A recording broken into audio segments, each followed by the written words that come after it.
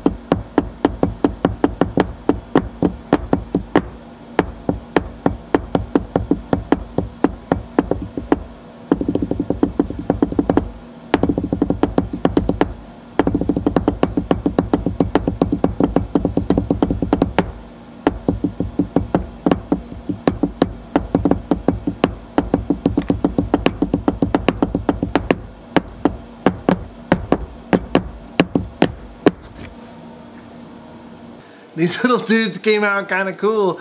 Not bad for just farting around. I actually drew the drawing this morning in Fusion and thought, you know what? I've got a free day, let's do this. I'm not gonna take full credit for the design. This is really a riff on a couple different things that I saw. One was the woodpecker design. And if you guys haven't seen Woodpecker Tools, they make some pretty cool stuff. And they're 20 bucks a piece, which is totally worth it. I think I paid $5, almost $5 just for the hardware. But they have an articulated foot both on top and bottom. And when I saw that, I thought, you know, if I just make these round, it'll do the same thing. So I think they could actually improve their product. They could have a fewer modes of failure by taking away those feet uh, and you probably don't need as many bumps on the top as they have, but hey, to each his own.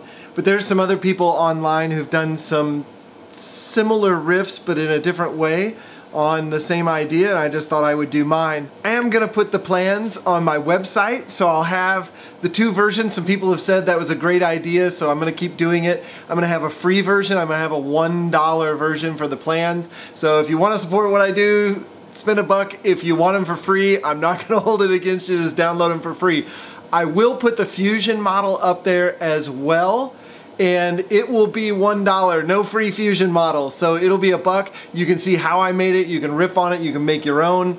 I think that would be cool to see some other versions of these out there. I love it when people make the things that I make and copy and put their own twist on it. It's awesome. So thanks for everything in 2016. I will see you on the flip side in 2017. Everybody be careful out there. And in the meantime, don't let your meat loaf. Feel free to click or tap on the images to check out some of my past builds.